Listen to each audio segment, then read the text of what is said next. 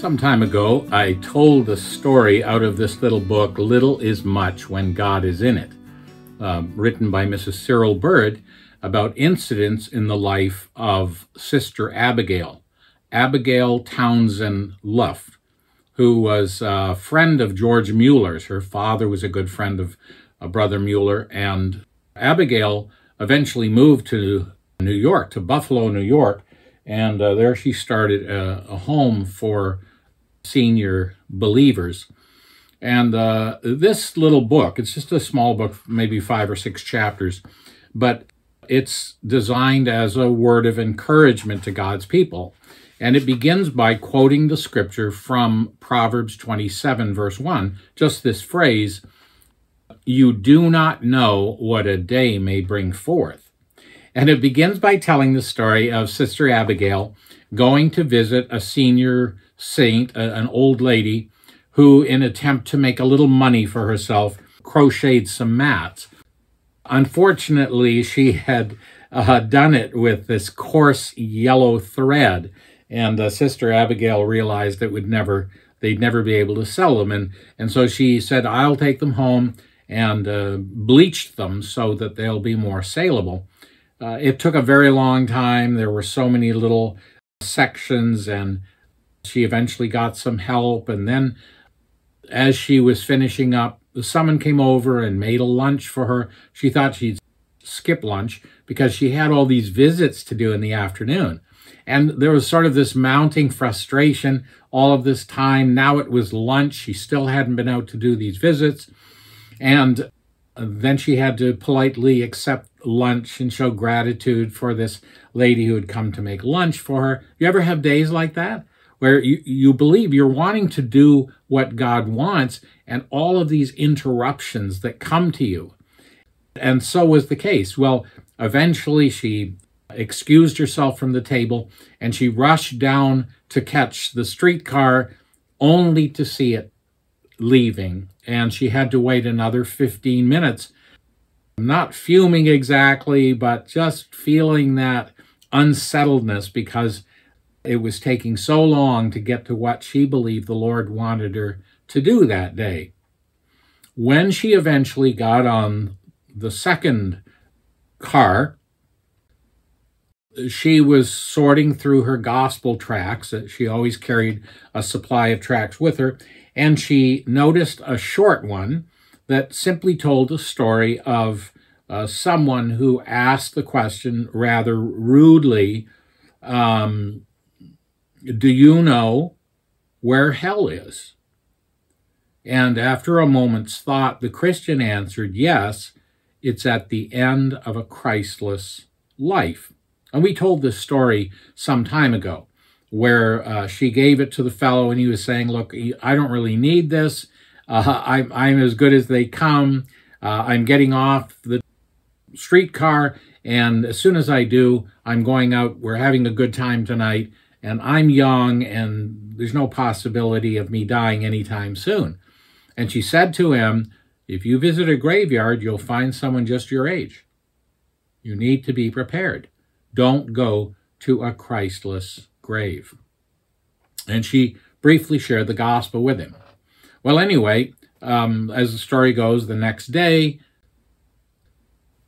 someone came, one of the one of the conductors came and sought her out and uh, said, You're the one who gave that little tract to the conductor about uh, going to a Christless grave. She said, Yes, I did.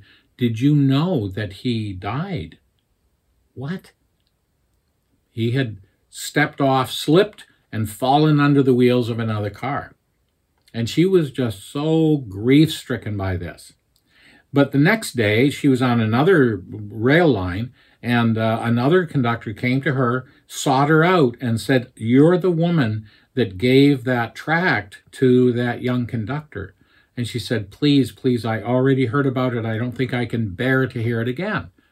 And he said, Well, he didn't die right away. I went with him to the hospital.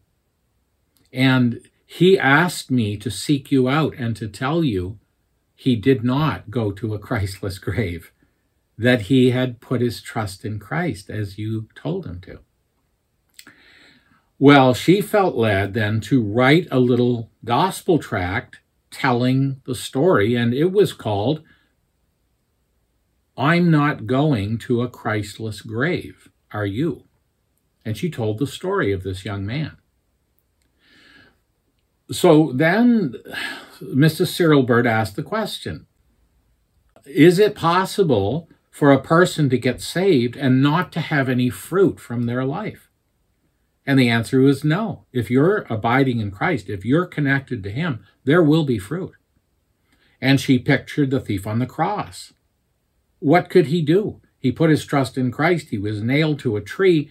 Uh, he couldn't uh, go and do any good works. What could he do? Apart from a little word of encouragement to his friend to repent and turn to Christ, and his no doubt encouragement of the Lord Jesus in that moment when everyone forsook him and fled, he was reaching out to Christ. But she said, think of all the preachers, all the Christians who have shared the story of the thief on the cross to plead with people in their dying hour to also trust Christ. And what a harvest that young man will someday see as a result of his death. So then she asked the question, what about this conductor? Is there any fruit from his life? And so the little book goes, story after story after story, and in the heart of it is this particular story her friend Iona had been sick for quite a while and finally was uh, able, strong enough to go on a little journey with Sister Abigail. And they were sitting on the streetcar, and directly across from them was a Roman Catholic priest in his garb. And uh, Iona said to Sister Abigail, I feel very strongly that this, this man should receive that tract that you wrote about the conductor, but I, I don't feel I have the strength to do it. And so uh, Sister Abigail gets up and she goes over to the priest and she offers him the tract. And when she does, he he not only refuses it, but berates her for going around and trying to proselytize people. And he says to her that um, you're one of those people who think uh, that you're going to be in heaven someday. And she responds, Oh, no, sir, indeed I am not. I would not dare to presume to think any such thing. Well, he sort of softens then a bit, and uh, as the car begins to slow down for the stop, he finally does receive the tract. And she says, This story is perfectly true. It happened to a conductor on the B Street car. I know the facts, and I wrote the tract. And so, rather reluctantly, he accepted the paper, put it in his pocket, and then she clarified what she meant when he said, You think that you're going to be in heaven someday. And so she says, If you will pardon me, sir, and permit further intrusion to prevent misunderstanding, I feel I must explain about my not presuming to think. I don't think anything at all about it. For I know whom I have believed, and am persuaded that he is able to keep that which I have committed to him against that day. 2 Timothy 1.12. I know, I know whom I have believed. And so they get off the cars, and that's that seems to be the end of the story. Two years passed, and then she was invited to visit a lady who was in a, a, Catholic hospital in Buffalo. And again, took her little tracts with her, and she was sneaking them in under mats and, and behind photos or pictures on the wall and in little crevices. And um, the Mother Superior saw her and, and put her hand on her shoulder and said, Listen, I, am not against you. I, I, I appreciate you you have to be careful, though. You know, someone may may banish you from this building. You may not be able to come back and visit. And so there was this this little warning, right? But then, as as some time went by, um, the woman came back to her again and said, "I noticed this little paper that you placed under the mat. Are you the woman that uh, wrote this little paper? And she said, Yes, I am. Well, she said, My brother wants to see you. My brother is dying. He's at a friend's home in a town nearby, and he told me about you, and he told me about this paper. And he very much wants to meet you. And so uh, on a certain day, she called this woman Sister Cautious, uh, and that's really where the term Sister Abigail came from. This woman called her Sister Abigail. And the two of them made the journey by train and came to uh, the home of this friend where the priest was lying. He was in the last stages of what they used to call consumption. As he came, um, he extended his two hands and he said, Oh, you, you are the one that told me, I know whom I have believed. And you said you could not presume to think such a thing. Now I too know whom I have believed, and am persuaded that he is able to keep that which I have committed to him against that day. Oh, I know, I know whom I have believed. Well, Sister Cautious, the actual sister of the priest, she said, uh, You're not going to leave the true church, are you? And to this, Sister Abigail turned to uh, Peter's epistle, uh, chapter 2, the fifth verse, and read, You also, as living stones, are built up a spiritual house, a holy priesthood, to offer up spiritual sacrifices acceptable to God by Jesus Christ. And she said, Look, the true church is made up of living stones, of living members. And once we put our trust in Christ, we become true priests of God, all of us. Well, she was asked to pray, and so she prayed for the man, and he responded, Let her prayers be answered for Jesus Christ's sake.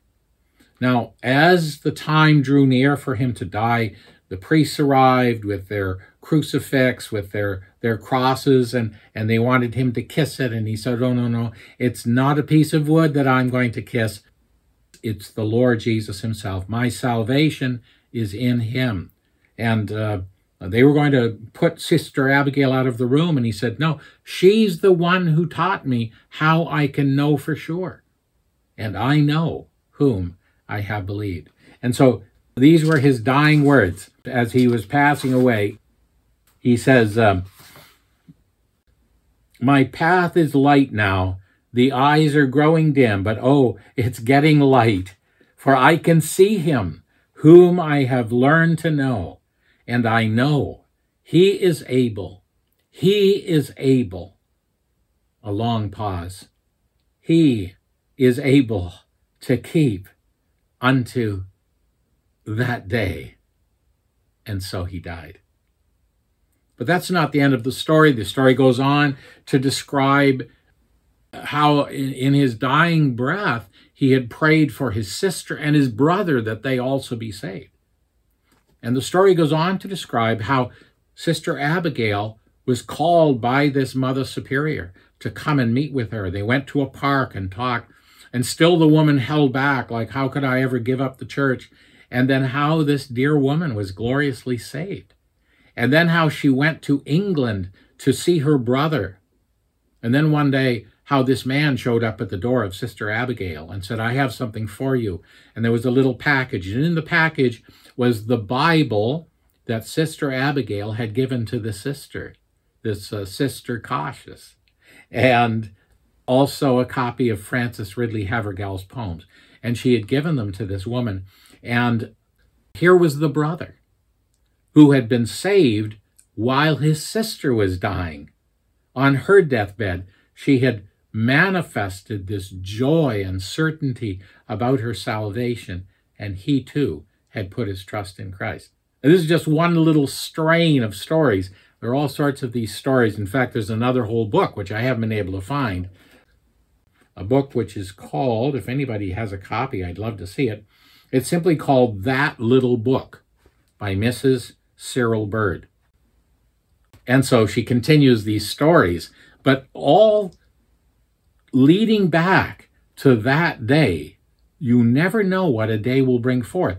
The fact that she was interrupted in her plans, she was waylaid by by doing this thing for this old woman to sell these mats.